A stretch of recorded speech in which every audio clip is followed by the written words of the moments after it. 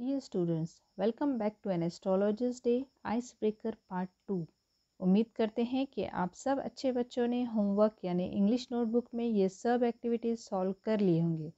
अगर आपने part one video नहीं देखा है तो डिस्क्रिप्शन बॉक्स में लिंक दी हुई है। आप पहले जाकर उस वीडियो को देखिए ताकि आपको डिटेल में पूरे एक्टिविटीज़ समझ में आ जाए। तो आइए आज के वीडियो में हम आइस ब्रेकर के आंसर्स डिस्कस करते हैं।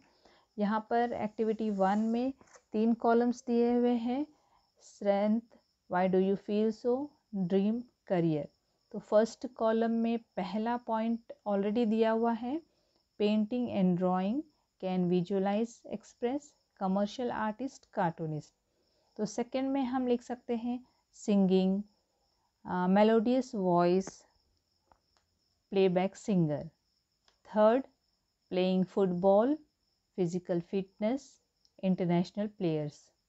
Fourth, poetry writing, good imagination, can compose poetry, famous poets. इस तरह आप अपनी strength cooking stitching mehndi drawing communication etcetera जो भी आपकी सचमुच स्ट्रेंथ है वही लिखो now come to the next activity यहाँ है number one selling flowers selling grocery और क्या होता है लोकल मार्केट बाज़ार में सेकेंड हम लिख सकते सेलिंग फ्लावर्स सेलिंग ग्रॉसरी और selling vegetables selling fruits next third vendor of fried groundnuts magicians people bargaining shouting और आप लिख सकते हो सेलिंग क्लोथ्स मेडिसिन बेचने वाले या फिर ख़रीदारों की भीड़ रहती है etcetera etcetera third activity astrologers यानी नजूमी या ज्योतिषी के पास क्या होता है? तो नंबर वन पैरट्स कार्ड्स दिया हुआ है। तो सेकंड में आप लिख सकते हैं काउरी शेल्स यानी कौड़ियाँ various charts a square piece of clothes a notebook और, नींबू, मिर्ची, लाल धागा पीकॉक फीदर्स एक्सेट्रा एक्सेट्रा जो भी आपको ऐसे माइंड में आए वो सब आप यहाँ पे लिख सकते हैं। नाउ एक्टिविटी नंबर फोर है डिस्कस इवेंट्स ऑफ़ सुपरस्टिशंस यानी तो हम परस्ती अंधविश्वास।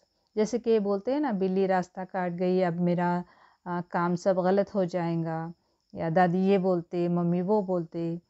तो यहाँ पर पहला एक एग्जांपल दिया हुआ है a cat crossing your path तो सेकंड आप लिख सकते don't look in a broken mirror बोलते ना, टूटे हुए आईने में नहीं देखना चाहिए। और फिर ऐसे third do not sweep after sunset blinking of left eye fifth आप लिख सकते हैं स्प्लिटिंग द मिल्क कौवा छत पे बहुत ही पुकार ले रहा कौन मेहमान आते कि आज।